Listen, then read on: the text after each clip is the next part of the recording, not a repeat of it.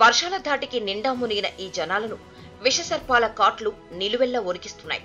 పశ్చిమ గోదావరి కృష్ణా జిల్లాల్లో పాము కాట్లతో వందల మంది ఆసుపత్రులకు పరుగులు పెడుతున్న పరిస్థితి. అయితే ఎంత వరద నీరొచ్చినా ఇంతకు ముందెన్నడూ ఈ స్థాయిలో పాములు ఊళ్ళ మీదకు రాలేదని చర్చించుకుంటున్న జనం ఏదో జరిగిపోతోందంటూ భీతిల్లిపోతున్నారు. ఎందుకు ఇలా జరుగుతుందని మదనపడిపోతున్నారు. వివరాల్లోకి వెళ్తే అక్కడ పాముల భయం.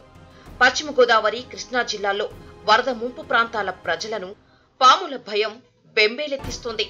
భారీ వర్షాలు వరద నీటి ప్రవాహాల కారణంగా పెద్ద ఎత్తున పాములు కొట్టుకురావడమే కాదు పుట్టలు బొరియలు భూమి నెర్రెళ్ళ నుంచి బయటకు వచ్చి ఊళ్ళల్లోకి ప్రవేశిస్తున్నాయి.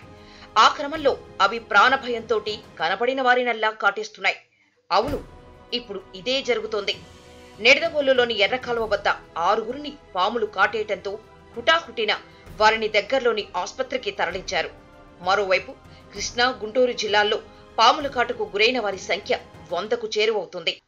రక్షణ కోసం కర్రలతో కాపలా కాస్తూ గ్రామాల్లో ఎటు చూసినా పాములే కనపడుతుండటంతో తమ వారి ప్రాణాలు కాపాడుకునేందుకు రైతన్నలు కర్రలు చేతపట్టి వంతుల వారీగా కాపలాలు కాస్తున్నారు. అదేమిటి? పాములు కంటపడేటట్లు తిరుగుతాయా? అనుకోవద్దు. ఉంది ఒకటో ఆరా పాము కాదు కదా. ఏ ఊళ్ళో చూసినా పదుల సంఖ్యలో పాములు తిరుగుతుండటంతో కనిపించిన వాటిని కనిపించినట్లు హతమారుస్తున్నారు గ్రామస్తులు. కృష్ణా జిల్లా కోడూరు మండలం విశ్వనాథపల్లి గ్రామంలో పాముల దెబ్బకు రైతన్నలు కాపులా కాస్తున్న దృశ్యమిది. ఇందుకు కారణం ఇటీవల కాలంలో ఎన్నడూ భారీ వర్షాలు ఎడతెరపిలేని వానలు లేకపోవడంతో వాగులు వంకలు పొర్లిందే లేదు. అయితే ఇటీవల భారీ వర్షాల తాకిడికి అన్ని వైపులా వరద నీరు దూసుకురావడంతో ఏళ్ళ తరబడి ఆవాసాలుగా చేసుకున్న పుట్టలు కలుగులు బొరియలు మూసుకుపోవడంతో విషసర్పాలు ఒక్కసారిగా వెల్లువలా బయటపడ్డాయి.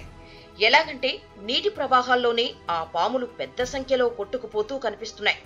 మరికొన్ని చెట్ల మీదకు గట్ల మీదకు ఎగబాగుతున్నాయి. మరికొన్ని నేరుగా జనావాసాల్లోకి చొచ్చుకు వస్తున్నాయి.